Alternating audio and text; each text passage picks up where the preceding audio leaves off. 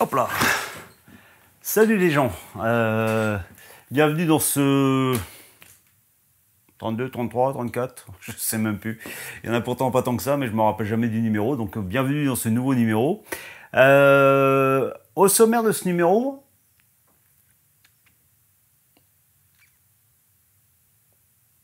Alors le problème que j'ai, c'est qu'il y en a plusieurs d'entre vous qui m'ont demandé si je pouvais pas faire euh, plus souvent des vidéos. J'en fais qu'une par mois. Et même comme ça, j'ai du mal à parfois à trouver ce que ce que je peux euh, de ce dont je peux vous parler euh, dans une nouvelle numéro, dans un nouveau numéro. Et là, c'est le cas parce que avec les chaleurs qui ont fait récemment et comme mon train est sous le toit, euh, j'ai pas de climatisation, donc j'ai vite d'y aller, donc j'ai pas fait grand chose. Euh, comme je vous avais dit, euh, j'ai réglé quelques soucis. Euh, donc au programme, au sommaire de ce numéro, on va parler des. Vous vous rappelez de ces, vieilles choses-là là, J'ai rencontré quelqu'un il n'y a pas très longtemps qui me demandait comment les comment ça se branchait et comme je vous avais fait un, topo sur comment brancher un aiguillage. Euh, je parle vraiment des vieux jouets. Hein, c'est comme toujours la seule chose que je connaisse. Euh, je peux vous parler que, que, ce dont je, je connais. Pas très français ça, mais c'est pas grave. Vous avez compris l'histoire. Euh, donc on va parler de ça. Et puis j'ai décidé aussi de, construire une des petites maisons une des petites maisons que j'avais reçues il y a quelques, semaines. Euh, c'est Luco Revu qui m'a envoyé ça et j'ai vu qu'il y avait un bon, hein, c'est un bon rapport qualité-prix. Je voudrais savoir ce que ça donne une fois monté. Donc il y aura vraiment, euh, il y aura que ça. J'ai pas de nouveau matériel, j'ai pas travaillé dessus, donc euh, on y va. C'est parti.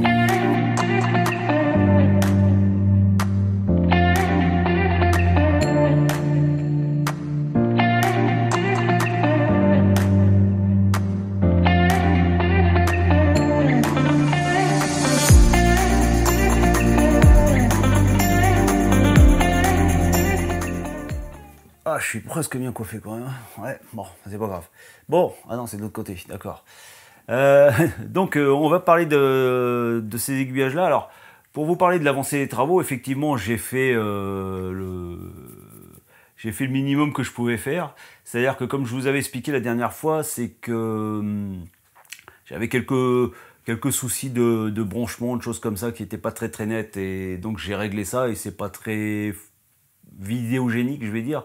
Euh, à vous montrer ça, bon, c'est juste un, problème de, branchement, de choses comme ça. Euh, quand j'avais fait la, trappe du milieu, euh, j'avais branché les fils comme je vous avais montré et apparemment j'ai pas pris les bons les bons arrêts, les bons trucs comme ça, donc j'ai changé juste ces choses-là. Maintenant, ça marche comme ça marchait toujours avant. J'avais un petit souci sur l'aiguillage triple euh, là, le souci, c'était juste qu'il y avait certaines machines qui déraillaient un peu euh, en passant sur l'aiguillage. Et en fait, c'était juste, euh, comment je pourrais dire, un, mauvais réglage. c'est-à-dire que sur un aiguillage triple, c'est-à-dire qu'en fait, vous avez deux aiguillages dans le même. Hein, et le, plus long allait peut-être trop loin, ce qui fait qu'il se tordait un peu. Et quand les locomotives arrivaient sur cette partie-là, il arrivait que ça, ça, que ça déraille. Donc voilà, j'ai juste euh, re-réglé ce truc-là et maintenant ça, ça, marche impeccablement. Donc on va parler des, de, ces, de ces blocs de commande de, Jouef. Alors vous avez deux modèles, hein, les, très anciens et les un peu plus récents. Parce qu'on peut pas parler de moderne. Hein. Euh, moi personnellement, j'ai toujours préféré ceux-là euh, aux ceux plus modernes parce que j'ai toujours eu l'impression que quand on appuyait un peu trop fort, ça se bloquait et euh, encore une fois, c'est les vieux jouets, c'est des, des, moteurs à impulsion sur les aiguillages. Donc c'est juste un bouton poussoir, on relâche, on appuie, on relâche. Euh, peut-être si, si, vraiment ça vous intéresse, on, fouillera le truc à fond, mais il faudrait que je dépouille un vieil aiguillage jouef. Vous avez euh, dans le moteur dans le moteur d'aiguillage, oui, vous avez deux bobines. Euh, vous en alimentez une en appuyant sur le poussoir ça fait office d'aimant, ça attire une, platine métallique qui fait bouger l'aiguillage par, des, renvois, des choses comme ça. Euh, donc il faut lâcher tout de suite parce que si la bobine est toujours alimentée, ça finit par fondre. Euh, vous appuyez de l'autre côté, c'est l'autre bobine qui, qui, se transforme donc en aimant, qui rappelle la platine métallique et ainsi de suite. Voilà. Donc vraiment des impulsions. Voilà pourquoi on dit moteur impulsion. Enfin, Donc vous aviez ces, anciens, euh, ces anciens blocs. Hop, oh bah non. Et en je les ai pas séparés. Euh, on va parler. Vous avez donc les, les plus anciens, les plus modernes. Euh, je ne sais plus si je l'ai dit, mais au cas où je le redis. moi personnellement, je préfère les, les, plus anciens que les plus récents parce que ceux-là, j'ai toujours eu l'impression qu'ils pouvaient se bloquer et je crois que ça m'est arrivé une fois ou deux. Vous voyez, on a l'impression que j'ai jamais vraiment eu confiance en cela, donc à chaque fois j'ai branché sur cela. Donc on va reprendre le, schéma que je vous avais fait la dernière fois. Euh, bon, celui-là n'est pas en très très bon état, j'aurais peut-être pu en prendre un meilleur. Voilà, celui-là est mieux. Même pas. c'est peut-être pour ça que je les ai pas remis d'ailleurs. Euh, fais voir ça. Alors vous voyez, celui-là par contre, c'est pas impulsion. Hein. Vous appuyez d'un côté, ça ressort de l'autre. Donc ça, c'est pas pour les aiguillages. Euh, celui-là, je ne sais plus. Bref. Donc voilà, les rouges, rouges, on va dire, ceux-là sont vraiment impulsion, parce que vous appuyez, ça relâche tout de suite. Alors vous avez une entrée, une sortie, et vous avez un, deux, trois, quatre, de quoi euh, commander quatre aiguillages, avec deux, deux sorties. Eh ben, si vous reprenez mon, le schéma que je vous ai fait la dernière fois, euh, c'est assez simple à, comprendre comment brancher ces blocs-là, sachant que justement avec un bloc comme ça, vous pouvez brancher quatre aiguillages. Mais euh, il vous faut, euh, donc vous avez l'alimentation accessoire qui va aller directement à votre aiguillage. On va parler d'un seul aiguillage, mais en gros c'est que l'alimentation accessoire va sur, un aiguillage, sur le commun de l'aiguillage, sur un autre commun d'aiguillage, ça alimente tous les aiguillages en fait. Et l'autre fil de votre alimentation accessoire va donc sur un, sur un bloc tel que celui-ci. Alors il se branche sur cette petite, euh, cette petite partie-là, alors euh, ça c'est à, votre sauce, vous essayez de trouver euh, ce qui va là-dedans, vous le soudez, euh, vous le raccordez comme vous voulez, mais voilà, ça se raccorde là. L'avantage c'est que si vous avez d'autres blocs à ajouter, vous pouvez les interconnecter et le commun va partout. Et en plus, et, ensuite pour chaque aiguillage, donc voilà, vous avez un, seul aiguillage. je vais prendre plutôt un petit, une petite baguette. Donc vous avez un seul aiguillage avec deux, bornes. Donc le commun, habituellement je crois que je vous fais voir le rouge qui est là. Et ici c'est euh, droite-gauche ou gauche-droite, c'est selon euh, ce que vous voulez. Et euh, par rapport au plan que je vous fais, bah, voilà comment vous, pouvez les brancher. Voilà, c'est tout simple. Et les, plus récents, les plus récents, comment dire, blocs de commande jouets, voilà, c'est exactement la même chose.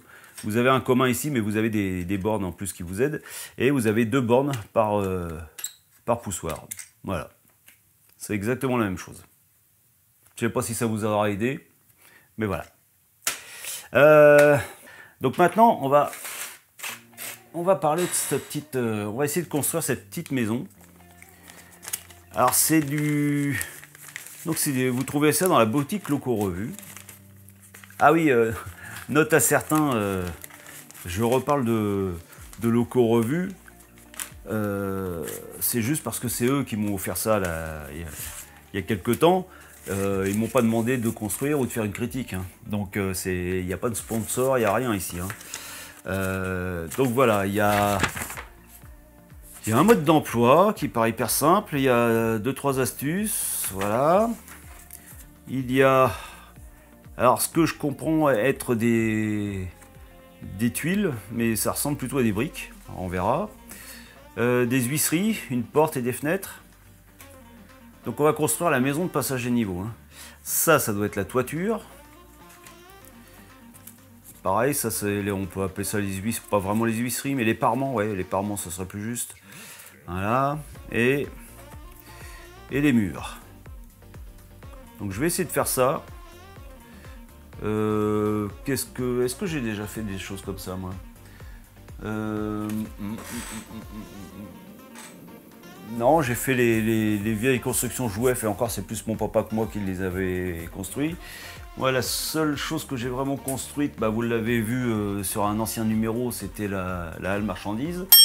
Hmm, donc, eh ben, écoutez, je vais essayer ça. Donc, c'est maison de passage à niveau. Alors, l'intéressant pour, euh, pour la personne qui, comme moi, ne roule pas sur l'or, c'est que c'est pas très cher. Ça coûte, euh, je crois, moins de 5 euros. Ah, bien sûr, c'est forcément assez succinct. Hein. Moi, la première remarque que je vois, c'est que bah, il y a effectivement les visseries, mais il n'y a pas de vitres. Mais ça, vous prenez du, plastique que vous récupérez n'importe où. Euh, je crois que je dois en avoir justement de la dernière à la marchandise qui doit me rester. Euh, avec ça, je ferai des, je ferai des carreaux, donc c'est pas un souci. Euh, après, voilà, bah, on, va essayer ça et puis voir l'aspect que ça a. l'aspect que ça a. Alors, ce que je m'interroge, c'est comment je pourrais dire la coupe laser. Euh, ça fait toujours des traces de salissure. Euh, mais je crois plutôt que du coup euh, il, faut, il faut en garder quand même parce que c'est dans la déco, de, la déco de la maison. Qui a déjà une certaine couleur, donc on verra ça. Alors il y a apparemment des vidéos, ça fait partie des bâtiments train, train inbox. Et il y a peut-être une vidéo de montage, mais je vais essayer de la monter sans, sans vraiment de, de montage, enfin de, de préparation de vidéo. Donc il me faut de la colle blanche, il me faut un cutter. Euh, bah apparemment il faut commencer justement par faire les carreaux, mais je vais séparer les pièces d'abord. J'ai jamais fait, alors je ne sais pas comment qu'on fait.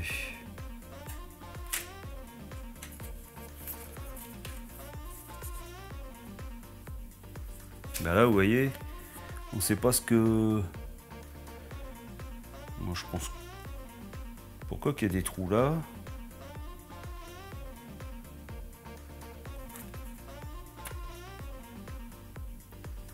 mhm. À mon avis ça doit être euh, comme ça.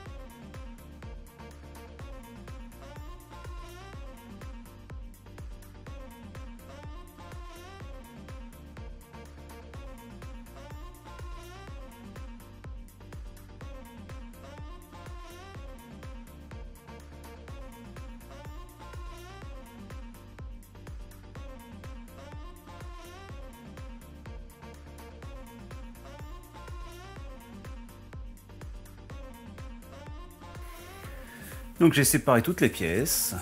Maintenant, euh, apparemment, le mieux c'est de commencer par coller les fenêtres. Alors, ce que je vais faire, c'est que je vais prendre un pinceau. Je mets un peu de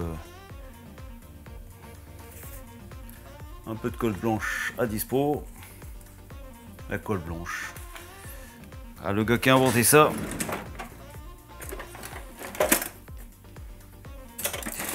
Un pinceau. Allez. Mhm. petite, euh, petite pince Bruxelles, ça sera peut-être pas mal.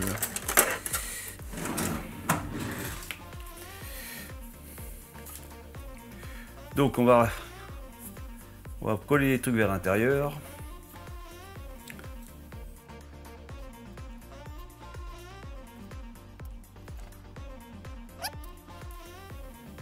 Je vais la monter pour l'instant euh, brute de sortie, sortie de boîte.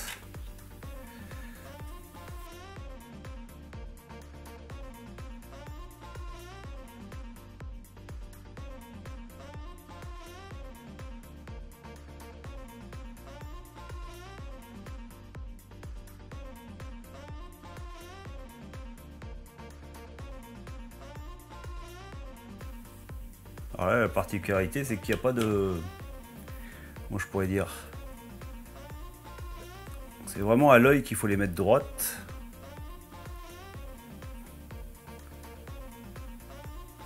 c'est pas évident, évident.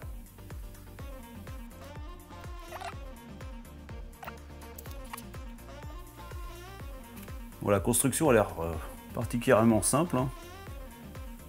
Peut-être trop justement parce que vous voyez, pour mettre les fenêtres droites, il faut vraiment s'appliquer.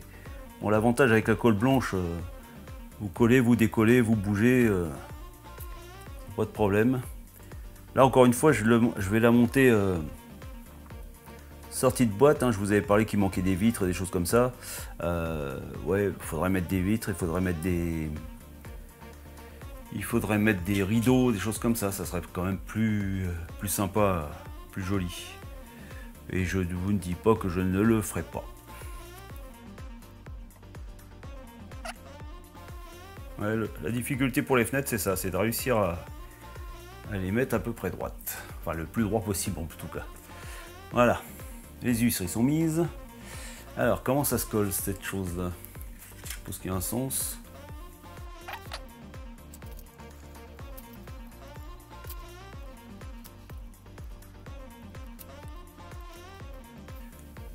Comme pour tout ce qui est maquette, de toute façon, il euh, faut toujours être précautionneux avec les, points d'attache sur les grappes. J'ai connu ça avec les, maquettes en plastique. Oula, ça prend.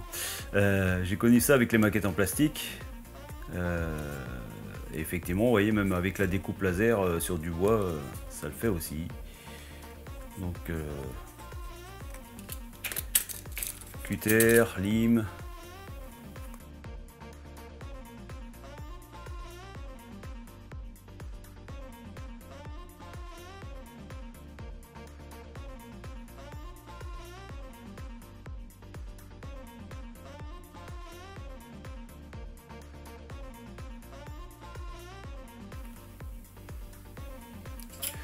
Il y a juste les parements, je pense que j'aurais dû les, certainement les mettre avant de, coller les murs.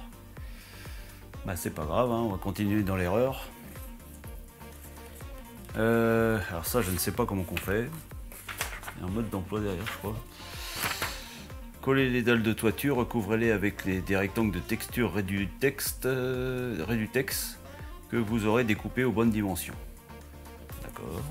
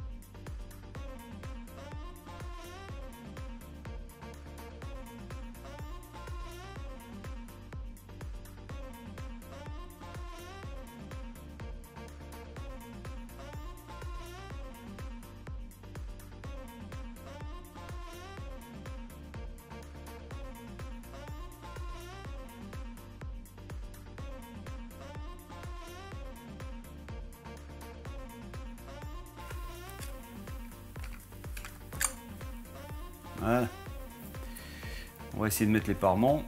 Mais encore une fois, j'aurais dû les faire avant.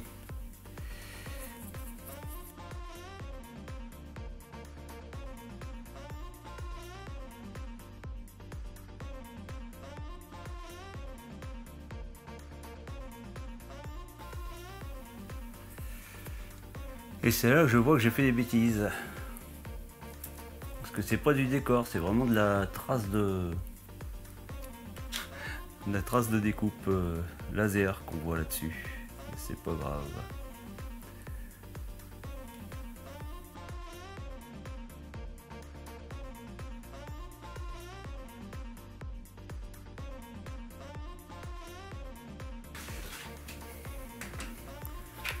Ouais, je pense que ce que je prenais pour de la déco, en fait, c'est ça, c'est les, les traces de coupe. C'est pas grave. De toute façon, on restera peut-être pas dans cette couleur-là plus tard, on verra.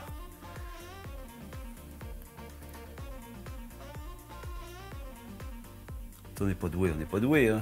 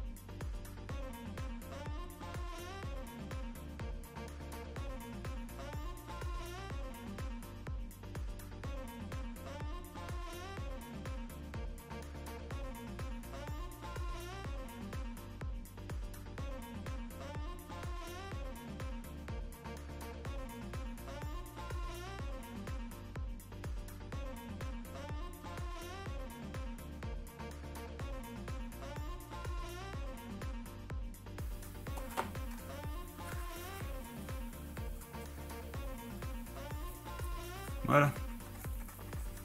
Bon, voilà. Alors c'est encore une fois, c'est sorti de boîte construit par quelqu'un qui a aucun talent, qui n'a jamais fait ça. Il y a 50 000 choses à améliorer. vous allez voir les gros plans, vous allez, vous allez bien rire.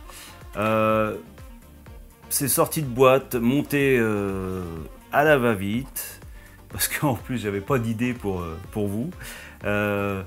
Il euh, y a moyen de faire mieux. Je vais quand même l'améliorer un peu après, parce que comme je vous disais, euh, ne serait-ce que de mettre des vitrages, de finir un peu le, la toiture. Bah, là j'ai vu que les parements j'aurais dû les mettre avant, mais bon, il y a... Honnêtement, même si je la pose comme ça au milieu de mon train, a fait l'affaire a fait l'affaire, franchement. Pour, euh, pour moins de 5 euros, franchement, euh, je, conseille quand même de faire ces petites maisons-là. Après, bon, si le toit gris ça vous gêne, euh, bah, il faut, il faut en mettre un d'une autre couleur. je sais pas. en partant de cette base-là, même à la limite, vous pouvez très bien copier ce que j'aurais pu faire aussi. Hein, copier les découpes sur du, calendrier ou du carton un peu dur pour en refaire plusieurs, pourquoi pas. Euh, ça peut vous donner, euh, ça peut vous ouvrir à, des horizons plus grands. Euh, bon là c'est une maison de garde-barrière donc c'est un peu, un peu succinct, mais dans le cadre d'une vraie maison, non, encore une fois pour 5 euros c'est agréable à regarder, c'est joli comme tout. Et si vous êtes un tant soit peu, un peu plus soigneux que moi, je suis convaincu que vous arriverez à d'excellents résultats. je vais la mettre sur mon réseau tout de suite. Le temps qu'elle sèche. Donc voilà. Euh, avant de vous quitter, euh, j'aurais une petite question à vous poser, savoir si ça vous intéresserait euh, pour d'éventuelles autres vidéos. Donc pas, pas forcément la prochaine, hein, parce que je pense pas que j'aurai le temps de mettre ça en place, mais d'autres vidéos d'ici dans les mois qui viennent. Euh, est-ce que vous seriez intéressé, je ne sais pas, par une, une, FAQ, une foire aux questions? Euh, Je suis ouvert à toutes vos, toutes vos questions. Euh, n'hésitez pas à me les poser et puis je, ferai un, comment, un, condensé de tout ça et je ne serai pas fermé à...